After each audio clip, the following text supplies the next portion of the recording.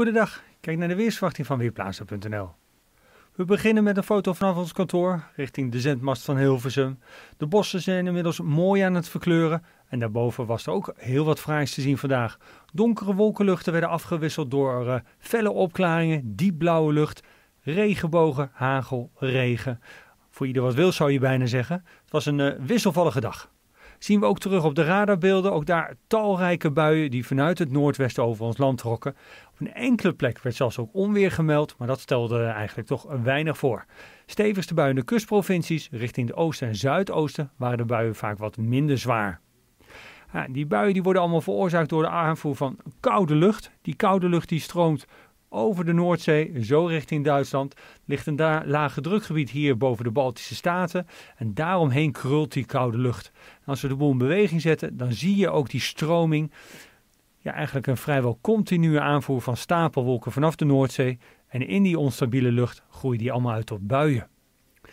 Nou, als de warme lucht een beetje verdwijnt, en dat gebeurt natuurlijk s'avonds, dan neemt het aantal buien meestal weer af, omdat de buien hun energie kwijtraken.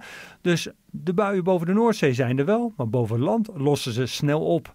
Vanavond en vannacht daardoor vooral in de kustprovincies nog enkele buien. In het oosten en zuidoosten blijft het zo goed als droog.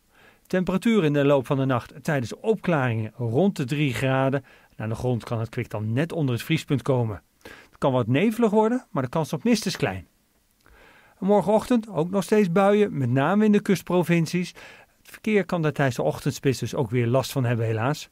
Later op de dag breiden de bui zich verder naar het binnenland uit. Dan hebben we overal weer af en toe de paraplu nodig. Maar in Limburg daar is de kans op een bui het kleinst. Voor 10 tot 12 graden en in vergelijking met vandaag staat er veel minder wind. In het binnenland 2 à 3 Beaufort, aan zee 3 tot 4 Beaufort. En dan vrijdag, nou, die begint weer in de ochtend met in het binnenland vrijwel droog weer. Maar vanuit het westen gaat het op steeds meer plaatsen regenen. En vooral vrijdagmiddag en avond is het op veel plaatsen nat. Temperaturen dan rond de 9 à 10 graden. Een grijze dag voor een groot deel van het land. Zaterdag en zondag verwacht ik veel meer zonneschijn. Niet helemaal droog, beide dagen kunnen er ook buien vallen, maar de zon die heeft toch wel een groot deel van de dag de overhand merken we niet echt in de temperatuur. Die gaat juist wat naar beneden. Zondag wordt het op sommige plaatsen niet warmer dan 8 graden. Ook de nachten worden kouder. Dat zien we ook terug in deze grafieken. We komen wat vaker rond of zelfs onder het vriespunt uit.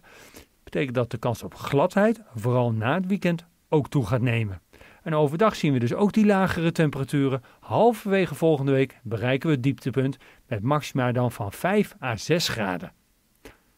Ik ben Michiel Severin van Weerplaza.nl